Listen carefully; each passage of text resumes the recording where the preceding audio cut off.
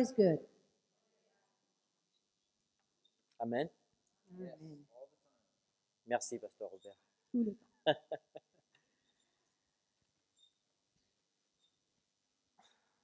Avant de- d'aller dans la parole de Dieu, Before we open the Word of God, nous allons faire une confession de foi.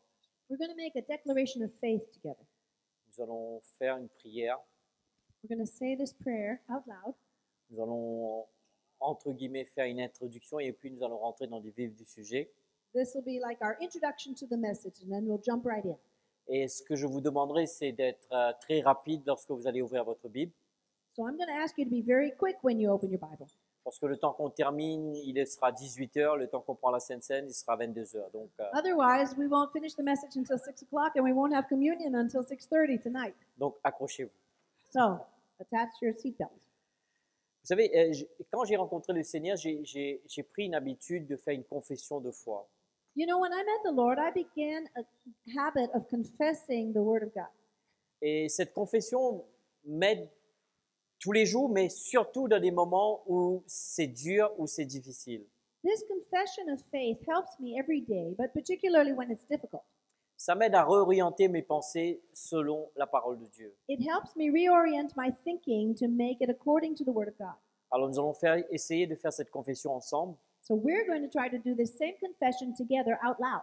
Donc je vais aller doucement pour que Pasteur Catherine aussi ait le temps de traduire. We'll say it in French and then translate it in English, and then you guys will repeat it. D'accord? Et ce que j'aimerais, c'est que même si vous n'arrivez pas à suivre, mais au moins saisissez l'esprit. Even if you can't say it word for word, capture what the Spirit is saying. D'accord? C'est Ok? très important. Dites ceci est ma Bible. Say this This is my Bible. Je suis ce qu'elle dit que je suis. I am what it says I am. J'ai ce qu'elle dit que j'ai. I possess what it says I possess. Et je peux faire ce qu'elle dit que je peux And I faire. can do what it says I can do. Je suis sur le point Now I'm uh, at the point de recevoir of receiving from God la semence incorruptible et indestructible parole de Dieu. the incorruptible, indestructible seed of the Word of God. Mes pensées sont alertées. My thoughts have been alerted. Mes oreilles sont ouvertes. My ears have been opened. Mon cœur est réceptif. My heart is now receptive. Et dans le nom de Jésus, And now, in the name of Jesus, ma vie my life ne sera jamais, never, jamais never, la même. never Merci en tout cas pour votre patience. Amen. Essayez de, de- de- de retourner sur YouTube et, et reprenez cela. Vous allez voir, c'est, c'est- ça, ça crée un élan de votre vie. You can watch this message on YouTube and memorize this confession of faith, and you will see the impact that it has in your life if you do it on a regular basis. Sincèrement, j'ai vu des moments où je me regardais dans le miroir, j'étais comme ça. Sincerely, there were times when I was in front of the mirror, just my eyes down, my head down, Et après avoir fait cette confession, il y avait le sourire sur mon visage. and I looked myself in the mirror. I make this confession, and all of a sudden, the smile came back Parce qu'il y a la puissance dans la confession de la because there is power when we confess the word of God. Amen? Et quand on est exposé à la parole de Dieu, cela ramène une transformation. And when we are living according to the word of God, it produces transformation in our life. Et c'est ce que Dieu veut faire. That's what God wants to do, brothers and sisters. Vous savez, la plupart d'entre nous, lorsque, euh, avant d'être sauvés, You know, most of us, before we were saved, lors de notre parcours sur la terre, nous avons, en, en d'autres mots, absorbé certaines choses. as we've lived our life on the earth, we absorbed certain things from the world. Nous avons con- construit notre vie d'une certaine manière. And we built our lives in a certain way. Et après avoir rencontré Jésus, And then, after meeting Jesus, nous continuons à faire les mêmes choses. we sometimes continue to do the same things we used to do. Mais vous savez, ça ne veut pas dire ce que nous faisons est mauvais en soi, Now, that doesn't mean that what we were doing before is bad in and of itself, mais peut-être cela ne s'aligne pas avec la culture de Dieu. but perhaps some of those things are not in line with the culture of the kingdom of God. Vous savez, quand nous rentrons dans le royaume de Dieu, nous rentrons dans, dans, dans la royauté de Dieu. You know, when you enter the kingdom of God, you're entering into the royalty of God. Entre guillemets, nous disons, Jésus, tu es roi de ma vie. In other words, we're saying, Jesus, you're the Lord and King of my life. Et lorsque vous déclarez le, la royauté de quelqu'un sur votre vie, c'est que vous êtes prêt à vous soumettre à lui. And when you declare that someone is king over your life, you're saying, in fact, that you are ready to submit every aspect of your life to him. soumettre à son autorité, Submit your life to His authority, à ses principes, to His principles, à ses valeurs to His values, et sa culture. and to His culture. Et c'est ce que Dieu veut faire avec vous et moi. And that's what God wants to do with you and I. You Au and me. travers de notre vie, il veut changer notre manière de penser. In our lives, He wants to change our way of thinking. Vous savez, la plupart du temps, vous allez constater que ce que vous croyez aujourd'hui peut être la chose dont vous ne croirez plus lorsqu'il y aura peut-être une dizaine d'années après. You know, sometimes you will discover that what you believe today is not what you're going to believe in five or ten years down the road. Ce qui veut dire que, au fur et à mesure qu'on grandit dans notre croissance, dans notre maturité en Dieu, In other words, as we grow progressively in our knowledge of God, nous allions nos pensées avec Dieu, we align our thoughts with the thoughts of God more and more. notre philosophie change, And that changes our philosophy, notre conviction change, our convictions are changed. et lorsque notre conviction change, notre manière de vivre change. And then when our convictions are changed, our lifestyle is Et changed. c'est ce que Dieu veut faire avec vous et moi. This is what the Lord wants to do with you and me. Et, et- et vous savez, il y en a certaines choses qui est abordée au- de nos jours, c'est un sujet Now, I've discovered that certain subjects that we talk about these days, nous devons vraiment apprendre à l'aborder la façon que la parole de Dieu le dit. are subjects that we need to learn to consider in light of the Word of God.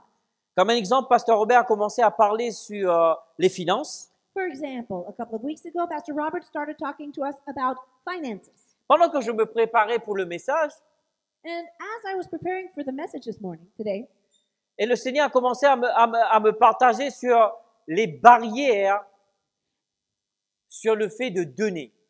the Lord began to reveal to me the obstacles or the barriers for, that keep me from giving to the Lord. Certains d'entre nous, nous avons peut-être la peur de donner. One of those barriers is some of us, we are afraid to give. Peur de donner, de peur de ne pas avoir assez. Why? Because we are afraid we won't have enough. Certains d'entre nous, nous, a- nous, nous avons peut-être expérimenté un abus quelconque. Another barrier some of us have experienced is some sort of abuse in the area of finances. Ou peut-être une mauvaise expérience. Or a third barrier, some kind of negative experience. Mais le had. dernier, je, je le préfère. But the fourth barrier is the one I see the most. Peut-être vous avez choisi de ne pas le faire délibérément. A deliberate choice not to give. We make that choice. Vous savez, euh, en, en- discutant des fois avec le pasteur Robert, avec le pasteur Jean-Pierre, You know, sometimes when I discuss with Pastor Robert or Pastor Jean-Pierre, des fois, ils me racontent les, les entretiens, pas me raconter la, la vie des gens, mais ils me racontent comment l'entretien se passe. they sometimes share with me how certain of their pastoral interviews have been going. Tu sais, c'est comme si tu montres à quelqu'un dans la parole de Dieu, voilà ce que la parole de Dieu dit. And this is what happens sometimes. You open your Bible, you say to the person, This is what the Word of God says. Donc maintenant, que vas-tu faire? So, now that you've read this, what are you going to do? Je décide de le faire quand même. And the person responds, uh, I'm still going to do my will. I'm not going to do what the Word of God C'est says. surprenant. That is surprising to me. Et après, on se demande pourquoi on ne voit pas la puissance de Dieu agir dans notre vie. But then after all that, we start to ask ourselves, why don't we see the power of God moving in our lives? Pourquoi on ne voit pas les miracles de Dieu dans notre vie? Why don't we see as many mo- miracles as we'd like to in our lives? Alors, avant d'aller plus loin, nous allons juste faire une prière. So before we go further in this message, we're going to pray together. Je ne vais pas prier pour vous, vous allez prier pour vous. I'm not going to pray and make you repeat it. You're going to pray from your heart. J'ai découvert que la, prière la plus puissante, c'est pas la mienne qui est pour vous, mais c'est la vôtre pour vous-même. I have discovered that the most powerful prayer is not the prayer I pray over you, but the prayer you pray over yourself. Nous allons demander à Dieu de briser ces mensonges dans nos vies So we are going to ask God in our own words to break every lie in our hearts afin que nous puissions re- recevoir la vérité de Dieu. so that we can receive the truth of God. Alors, si vous êtes à côté d'une personne, juste tenez la- main de la If you're personne, sitting beside someone, grab the hand of that person. We're going to do this together. juste euh, priez, soit vous fermez les yeux, soit vous gardez, euh, comme vous voulez. En tout cas, juste mettez-vous devant Dieu Place yourself before God. You can keep your eyes closed or open as you wish et demandez à Dieu and just ask God de vous libérer. to set you free. des mensonges. of every lie, Parce que seule la vérité because only the truth libère. is what sets you free.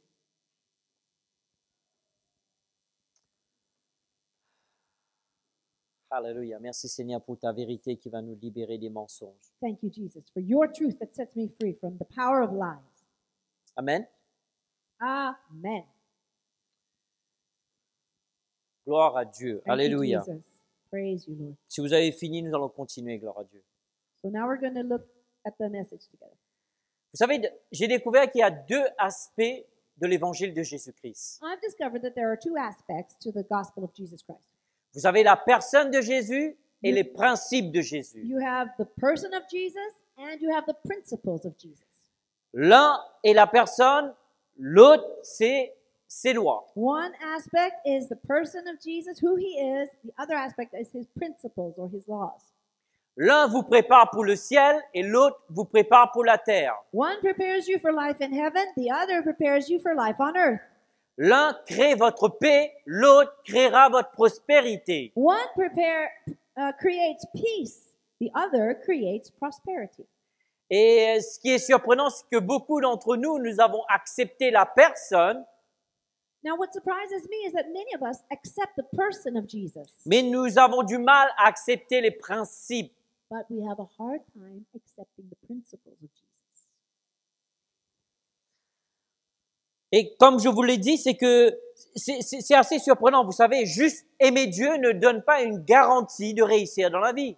You know, the fact of simply loving God is not a guarantee that you will live a successful and prosperous life. Comme je vous ai dit lors des entretiens que j'ai, les pasteurs m'ont témoigné des fois, As we've heard that sometimes happens in the pastoral counseling les gens savent que la parole de Dieu est claire et directe sur un sujet quelconque, mais les gens choisissent de le faire quand même. we have met people who have understood and seen that the Word of God is very clear and very direct in certain areas, and yet they refuse to adhere to that Word. Et après, ils se demandent pourquoi ils sont en train de vivre l'enfer sur la terre. And then they wonder why they're living hell on earth. Nous ne pouvons pas accepter la personne et ne pas accepter ses principes. In other words, we can't just accept the person of Jesus without accepting the principles of Jesus. Oui, nous sommes sauvés. Yes, we are saved. Oui, quand nous serons morts, nous partirons au ciel. And yes, when we die, we will go to heaven. Mais le sacrifice de Jésus va au-delà du fait d'avoir un ticket pour le ciel. But the sacrifice that Jesus made on the cross is far beyond a simple ticket to heaven. Il veut qu'on réussisse ici-bas sur la terre. He wants his children to succeed here on earth. Il veut qu'on prospère sur la terre. He wants his children to prosper here on earth. Vous voulez la preuve? You know, do you need proof to believe that? Comment ça se fait qu'il y a des gens qui croient en Jésus, is it possible that we see people who believe in Jesus, mais sont dans la faillite totale but they're totally bankrupt? Et comment ça se fait? How is that possible? qu'il y a des gens qui détestent Jésus, There are people that hate Jesus, mais ils ont réussi de leur vie but they're prosperous and successful. Tout simplement, How does that happen? Very simply. ces gens-là ont découvert les principes Those successful people have discovered the principle et ils l'ont appliqué à leur vie. and applied the principles in their lives. Tant que tu ne l'appliques pas, In, il oth- n'y aura pas le résultat dans ta vie. in other words, as long as you're not applying the principles of God's word, you won't see the success and the promises of God. Comme un exemple tout simple, j'étais en train, vous savez, des fois ça m'arrive de regarder sur Internet, je regardais sur Facebook, Sometimes I look at something on the internet or on Facebook, et je voyais un pasteur qui prêchait dans une très très grande église. and one day I was listening to a preaching by a pastor in a huge church. Et ce pasteur était en train de prêcher sur le réveil. And the pastor was preaching about revival. Et, il- et sa phrase exacte était, nous n'avons pas besoin d'argent pour le réveil. And his exact words were this We don't need money to see revival. Je me suis dit, quelle Bible qu'il est en train de lire. And I said to myself, What Bible is he reading? Ce pasteur qui prêche, qui dit que on n'a pas besoin d'argent pour le réveil, A pastor who says we don't need money to see revival? il prêche dans une église qui a la dernière technologie à, à la pointe, And he's saying this in a huge church that has all the latest technology.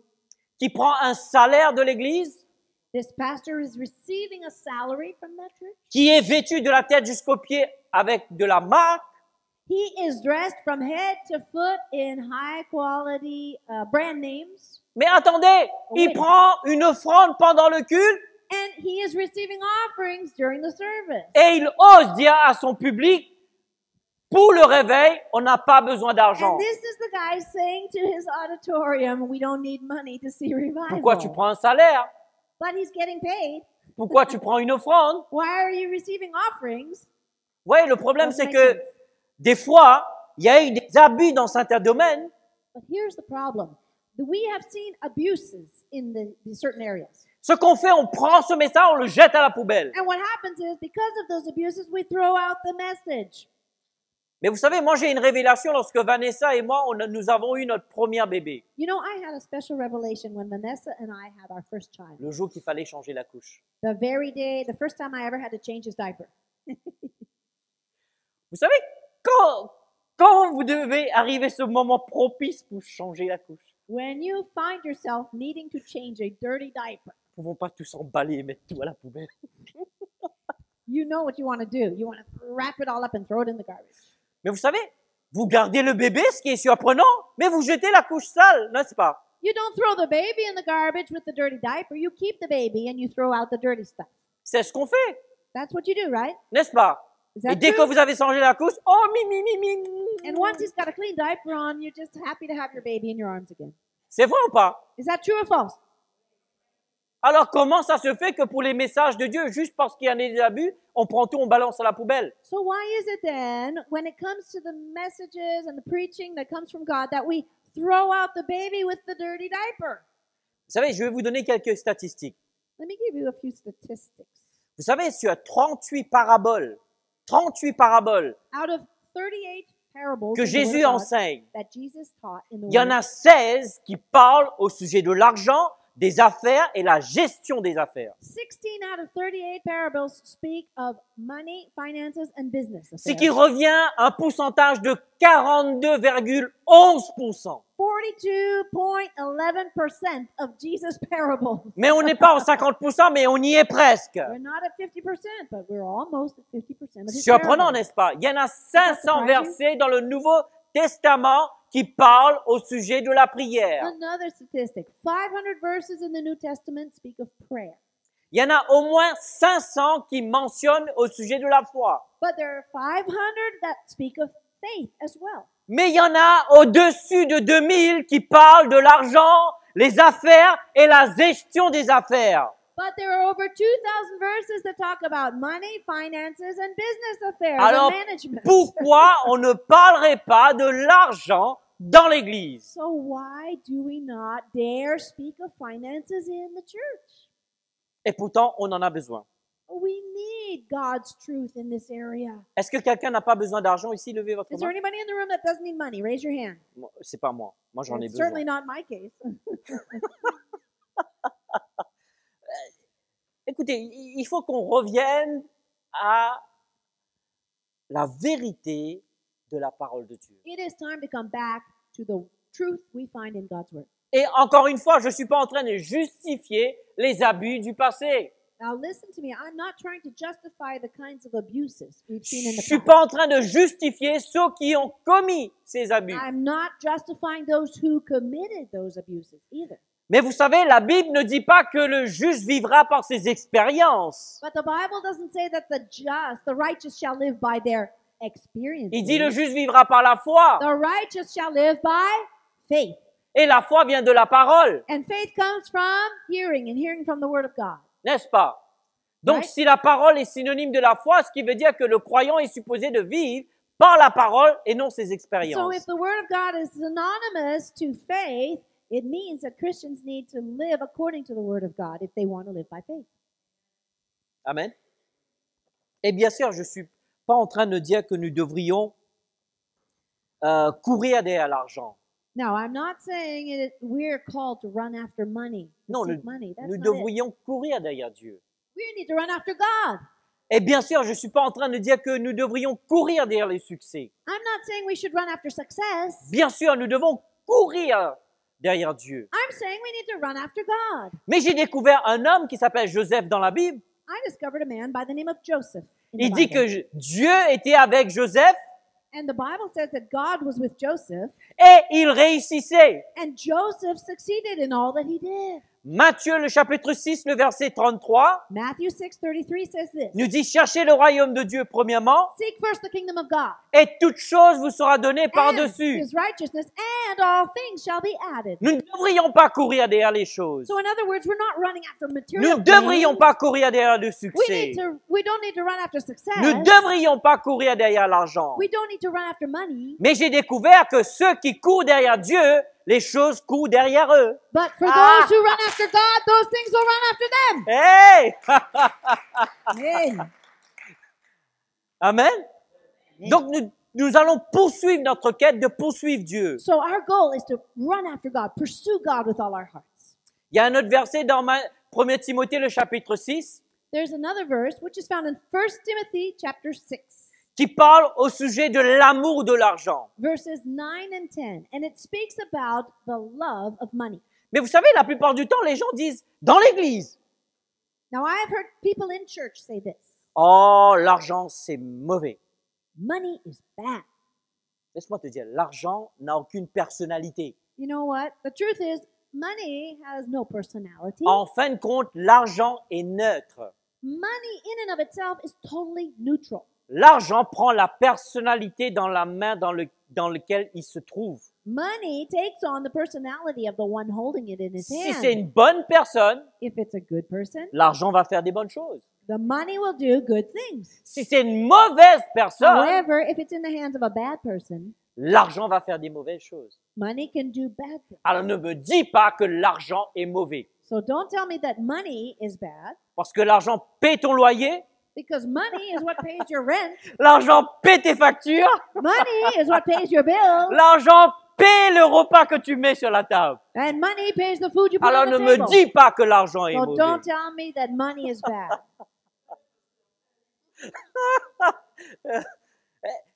Le problème, c'est que on, on a eu des abus et on, on est resté dessus et on a tout jeté à la poubelle. As I've said, we have seen abuse and we've thrown everything into the garbage because of that. Non, nous ne devrions That's pas. not what we're supposed to do. Nous devrons approcher ces principes avec une manière dont la parole de Dieu évoque la situation ou sinon la chose. We are supposed to treat the area of finances and money the way the Bible says to do so. Et rapidement, je vais vous parler au sujet de la loi de la semence.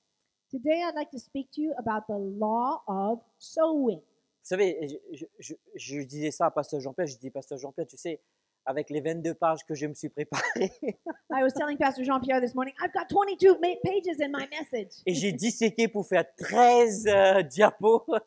I was ready to have a PowerPoint of 13 different slides. Et ce matin, dans les 13 diapos, j'ai même pas touché je ne sais combien. And I, in this morning's message, I only spoke about one or two of those slides. Il y I avait didn't even get to the tellement de choses que le Seigneur voulait toucher dans notre âme. Because I've seen God wants to touch so many areas in our soul regarding finances. C'est arrêtons de faire l'autruche. So let's not be like the ostrich who sticks his head in the sand. Nous devons aborder la chose. We need to confront certain issues. Alors, je Amen. vous inviterai d'ouvrir votre Bible dans Genèse, le chapitre 8, le verset 22. Let's start by looking at Genesis chapter 8, verse 22. Pasteur Catherine va lire I'm going to read it in English. If you're following along in French, just read silently with me. Genesis 8:22 As long as the earth endures, seed time and harvest, cold and heat, summer and winter, day and night will never cease. Ce verset évoque quelque chose de très important. This short verse speaks of something very, very important for us. Vous vous rappelez que Pasteur Robert a parlé lors de ce message, il a dit que Dieu a intervenu par période de dispensation et d'alliance. Do you remember when Pastor Robert was teaching recently? He spoke about the different dispensations through which God moves in different ways? Et au travers de ces alliances différentes avec quelqu'un ou sinon un peuple, Dieu établit des paramètres et la provision. Il faut que tu rentres dans les paramètres pour obtenir la provision. And how often God established a covenant with someone in order to show his people certain parameters which they needed to adhere to in order to be blessed. Mais ce verset Now, this verse is very important. N'est pas appliqué dans une dispensation quelconque. This verse does not simply apply to one particular dispensation Parce que ce verset dit tant que la terre existe. because it starts off by saying, as long as the earth exists. Est-ce que la terre existe? Is the earth still existing? Ce Yes qui or veut no? dire que ce verset ne s'applique pas à un peuple, So, this verse is not just reserved for one people, non seulement à une nation not just reserved for one particular nation, ou à une certaine couleur quelconque. not reserved for one specific race of people. Ce que nous sommes en train de lire est applicable pour tous ceux et celles qui vont l'appliquer. This verse is applied to all of those who choose to apply it. Ce qui veut dire que tu sois sauvé ou pas, If you're saved or not saved. que tu sois gentil ou pas, If you're a nice person or if you're not a nice si tu person. l'appliques, If you apply this verse in your life, si tu vois que la terre existe encore, as long as the earth is still existing, le principe the marchera. principle will work in your life. Il y a trois cycles qui est révélé dans ce verset. There are three things revealed in this verse. La loi de la semence et de la récolte. The first one is the law of seed time and harvest. Le froid et le chaud. Et bien sûr, ça évoque que des saisons, des quatre saisons que nous avons dans notre belle France. The second is the the cold and the heat, the seasons that we see in our lovely country of France. Et ensuite, nous avons jour et nuit. Or summer and winter, in other terms. And then the third part is day and night. Oui, ces choses-là existent encore. Ce qui veut dire que si vous et moi nous appliquons ce principe, ce principe marchera pour nous. All of these things still exist. So, in other words, if we apply this principle, the principle will work in our lives. Nous allons regarder dans Galates le chapitre 6, le verset 7 à 8 que Pasteur Catherine va lire. Now we're going to read Galatians chapter 6, verse 7 to 8. If you would kindly follow along in French, I will read it in English. The Bible says this Galatians 6, 7, and 8 Do not be deceived. God cannot be mocked. A man reaps what he sows. Whoever sows to please the flesh, from the flesh he will reap destruction. And whoever sows to please the Spirit, from the Spirit he will reap eternal life. Et ici, ce verset, la plupart du temps, quand j'entends les chrétiens utiliser ce verset, Most of the time, when I hear Christians quote this verse, ils sont en train de parler du karma, tu sais. Karma. they're actually they have the idea of karma in their mind. Oh, attention ce que tu fais, frères et Oh, be sœurs. careful about what you do; it's going to come back to you. Non, mais en dehors de tout ça, c'est que ici, encore une fois, le Nouveau Testament est en train de révéler un principe qui a été établi depuis la nuit des temps. But once again, we see the New Testament is revealing to us a principle that has existed since the beginning of creation, Ce qui me fait comprendre, and this means that we should understand si je sème la miséricorde, certainement je vais récolter la miséricorde. whatever I sow, I will reap. If I sow mercy, I will reap mercy. Si je sème le pardon, je vais récolter le pardon. If I sow forgiveness, I will reap forgiveness in return. Si je sème l'amour, je If I- vais récolter l'amour. If I sow love, I will reap love in return. Et devinez quoi? But you know what? Si je sème l'argent, If I sow finances, devinez ce que je what vais will I reap in return? Exactly. Et le problème, c'est ça, bien aimé. But here's the problem Nous parlons de tout, we're speaking about everything, touche pas à mon portefeuille. but we don't want to speak about our wallet. Pasteur, ça c'est sacré, ok? The wallet is something sacred, C'est entre Dieu et moi, tu it's vois? between me and God. Et on se demande pourquoi on, on a autant de problèmes financiers. Je vais vous montrer deux exemples dans la parole de Dieu rapidement. I'd like to show you very quickly two examples in the Word of God. Euh, premier exemple, si vous écrivez, vous prenez des notes. Premier roi, le chapitre 17, le verset 8 à 16. The first example is, if you're taking notes, write down this reference 1 Kings 17, verse 8 to 16. Et deuxième référence, cela se trouve dans le livre de Jean, le chapitre 6, le verset 1 à 13. And the second example is in the New Testament, the Gospel of John, chapter 6, verse 1 to 13. Premier partie, exemple, pour une question de temps, je vais vous le résumer. I'm just going to summarize because our time is running out. Pasteur Robert et Pasteur Jean-Pierre a prêché dessus. In fact, Pastor Robert and Pastor Jean Pierre both preached on this message. C'était la situation, vous vous rappelez, lorsque cette dame à Sarepta, a- a- a- elle avait presque rien elle avait qu'un dernier repas, elle devait manger, son fils allait mourir. Vous vous You rappelez? remember the widow in Sarepta who was preparing her last meal to have with her son, and then she was expecting to die, right? Et ensuite, Dieu ordonna au prophète, va là-bas, j'ai ordonné à cette veuve de te nourrir, et ainsi de suite. Then God told the prophet Elijah, Go to that woman's house because I have ordered her to feed you. Heureusement que c'était à Sarepta, c'était pas en Île-de-France. Thankfully, it was only as far as Sarepta. It wasn't here in the uh, Paris region. Parce que si c'était à Paris, Because if it was here in Paris, on aurait eu tous les médias we would have had all the media following qui the seront prophet. venus They, sh- they would have followed him, taking pour pictures. dire, voilà un prophète qui abuse de ses membres. And the headlines would have said, Look at this prophet who is taking advantage of this poor widow. Encore un filou qui veut l'argent de ses membres. Another person who is just trying to scandal, scan, have a scandal, a financial scandal. Et ce qui est intéressant, c'est que le prophète lui dit, fais comme tu as dit, mais ramène-moi d'abord quelque chose. So the prophet says to the widow, You can do what you've planned to do, but first, bring me some bread. Bring me something. Et ce qui est surprenant, après que la femme avait accompli ce que le prophète a dit, Once the widow did what the prophet asked her to Oh, do, il y a quelque chose qui m'est venu, euh, je- j'espère pouvoir vous le dire. Euh, ce qui veut dire que les, les versets qui viennent après, il dit que rien n'a manqué. in the following verses, we see that this widow had nothing lacking after that. Je veux vous dire quelque chose. Let me tell you something. Dieu n'est pas motivé par le besoin. God is not motivated by our need Parce que nous avons des besoins partout dans le because monde. everybody has needs everywhere, right? Cette pauvre dame avait un besoin. And this widow certainly had a need, Mais Dieu l'avait ordonné but God had already ordered her de opérer et de participer avec le système que lui-même avait établi. to participate in the system that He had established. Une fois que cette pauvre dame qui avait son dernier repas pour manger, elle et son fils, et après qu'ils allaient, après manger, tu parles de mourir, mais ce qui veut dire qu'il n'y avait plus rien. She was expecting to serve her son the last meal, and then they were going to die in her mind. Ce qui veut dire qu'il n'y avait plus rien dans la cuisine, plus rien dans les In other bols, words, there was nothing left in her kitchen, in her cupboards.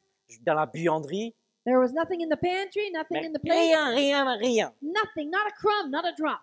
Mais la Bible nous dit qu'après qu'elle eut semé, But the Bible says that once she gave, once she sowed, il n'a plus manqué. she never lacked anything. J'aimerais attirer votre attention. Let me just underline this for you. Il ne peut... Oh Jésus, vous êtes prêts pour ça? Are you ready for this? Laissez-moi vous dire, ça va vous surprendre, vous n'avez jamais entendu ça. You've never heard this before, I guarantee it. Il ne peut pas avoir une récolte physique s'il n'y a pas eu une semence physique. There cannot be a physical harvest if there has not been a physical sowing of the seed. Qui veut dire, une récolte physique ne répond pas à la prière, In other words, a physical harvest is not the result of prayer. Vous venez de lire, il n'a pas dit que la femme a prié, It says, you, you saw it in the passage, the woman didn't pray, elle a semé. she sowed.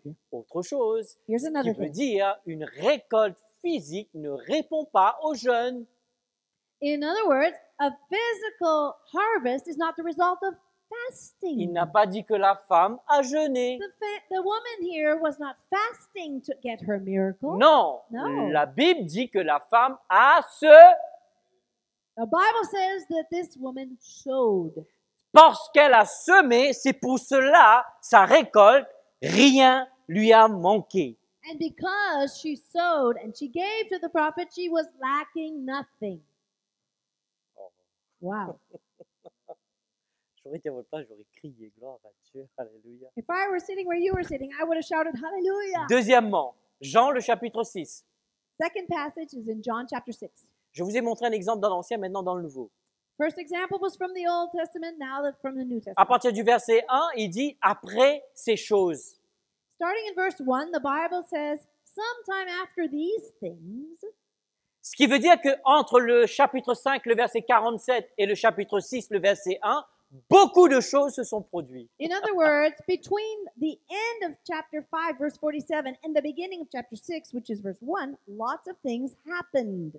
D'ailleurs, vous allez voir cela dans Matthieu le chapitre 4, à partir du chapitre 4, tous ces événements qui se sont passés. Et chapitre 6, livre de Jean, In other words, Matthew chapter 4 describes everything that happened in that space of time, and John chapter 6, la Bible nous dit qu'il y avait un besoin. the Bible reveals to us that there was a need. Et c'était pas la première multiplication des pains, c'était le deuxième. And this is not the first time Jesus multiplied the bread, it's the second time. Et ce qui est surprenant, c'est que Jésus utilisa le petit déjeuner d'un petit garçon. And what's surprising here is that Jesus chose to use the lunch of a young boy. Eh, est-ce que Jésus n'était pas le Fils de Dieu? Wasn't Jesus the Son of God?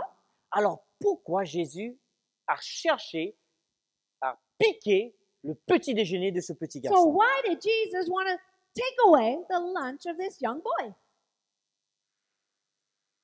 Et la Bible dit que Jésus rendit grâce et il commença à distribuer. The Bible says that Jesus received the bread, thanked the Lord, blessed it, broke the bread, and distributed it. Et ce qui est surprenant, c'est qu'il y avait 5000 hommes qui étaient nourris, sans compter les femmes et les enfants. And what is so cool is that that piece of bread fed 5,000 men, not even counting women and children.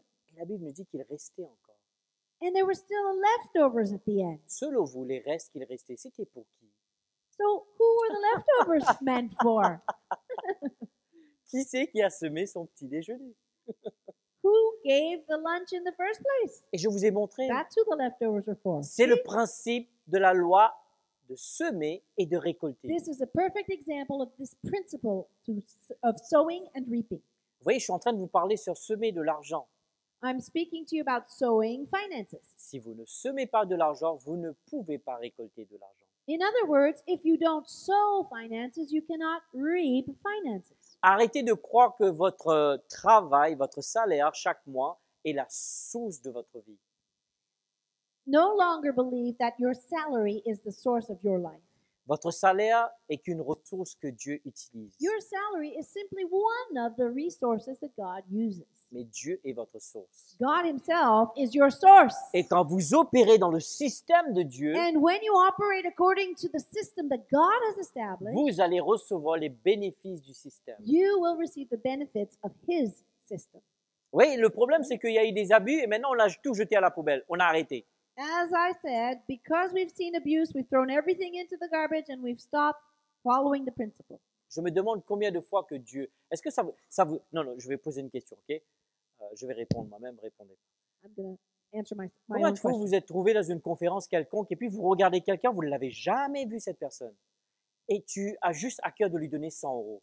Has this ever happened to you? In a Christian conference, God makes you see somebody, and all of a sudden you feel like you're supposed to sow finances into that person, and you don't even know them. Ça vous est déjà arrivé? Has that ever happened to you? Au fait, le moment que Dieu t'inspire pour faire ça, Now, here's the thing the very minute that God inspires you to sow that seed, il veut pas te raqueter. He's not trying to take advantage of you. Non, il est en train de faire en sorte que tu libères cette semence He wants you to release that seed pour que tu puisses obtenir la récolte. so that you can receive the harvest in return. Et tu bloques la semence, And what happens? We block the harvest. qu'est-ce qui se passe If we block the sowing of the seed, we will block the harvest. Tu sais, je, je voulais ce matin ramener une graine de pomme. You know, this morning I had the intention of just bringing an apple seed. Vous savez, quand, vous, je, regardez-moi, quand, quand vous, vous regardez une graine de pomme, qu'est-ce que vous voyez? When you look at the small apple seed, what do you see? Qu'est-ce que vous voyez? What do you actually see? Allô? Hein? Une graine. All you see is the seed, right? Et vous savez, dans cette graine, il y a quoi? But what is on the inside of that seed? Dans cette graine, il y a un arbre. In the seed is a whole Dans cet tree. arbre, il y a des fruits. And on the tree, the's so many Et dans ces fruits, fruit. il y a d'autres semences. And in all of those pieces of fruit, there are tons of other seeds. Et dans ces tonnes d'autres semences, il y a encore des arbres. And in each one of those tons of other seeds, there's another huge harvest of tree and all the fruit. Et tout a commencé avec une semence. Started with one Ce qui me fait comprendre que dans une semence, il y a une forêt. In other words, a single seed contains a whole forest. Tout a commencé avec une semence. Everything started with one little seed. Et j'ai pas eu le temps de dire ça, c'est c'est regrettable, j'ai pas eu le temps de le dire ce matin, mais je- vous êtes bénis, vous allez l'avoir. I didn't get to say that this morning, but this afternoon you're particularly blessed. Dieu croit tellement dans le système qu'il a établi lui-même, God believes so much in the system that He established. il l'a pratiqué.